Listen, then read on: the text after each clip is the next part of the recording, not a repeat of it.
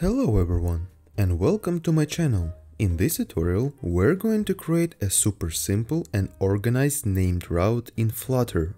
This will be a great video for absolute beginners who just started to learn Flutter. Okay, let's start.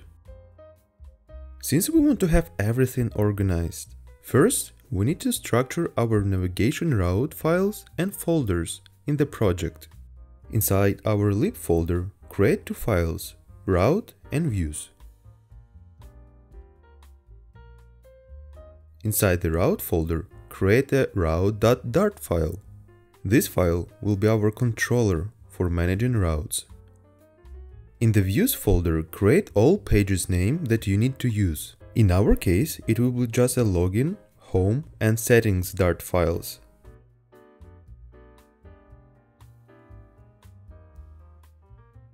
Now, let's go to each files and create our simple pages. First, I'm gonna start with login page. Import material design package. Create a stateless widget with the name login page. Instead of returning a container, we're going to return a scaffold widget. Just for demonstration, let's create an app bar with a title login page and the body with elevated button. This button we're gonna use for routing transition, for now, just return a null on press function. Okay, next, let's do exactly the same thing for home and settings page.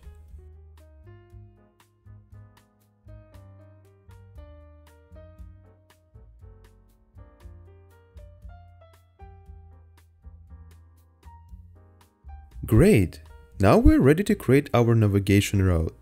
Go to the route.dart file import material design package and let's import all our pages.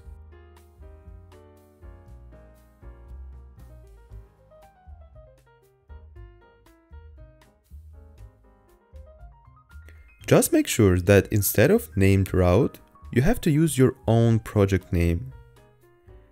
Next, let's define our route name. It will be a const string login page, const string home page, and const string setting page.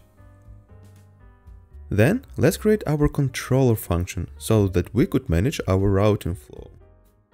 Create route dynamic controller and inside controller write route settings settings. Note that settings variable has two imported parameters. First one is settings.name, which will contain the route name, and the second one is a settings.argument, we're not going to use settings.argument in this tutorial, but just want to say that with this parameter, you can pass any object between routes. Inside our controller, create a switch case statement. Switch takes a settings.name parameter, which is our page name. Login page, which return material page route. Do the same thing for home page and settings page. The default will be just throwing an error. Okay, awesome. Next, let's go to our main.dart file and initialize our routes. I will remove everything except my app class. Import a route.dart file as route.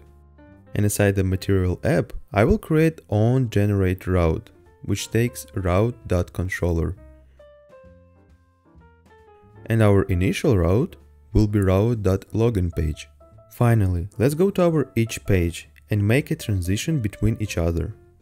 Don't forget to import our route.dart file inside each page.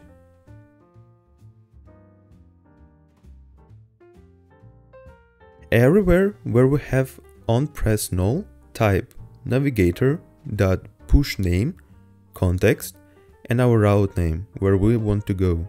For example, route.homepage.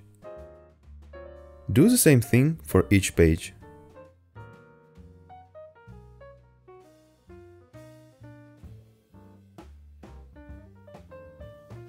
Great! Now if we save everything and reload, we can now move between pages. That's pretty much it.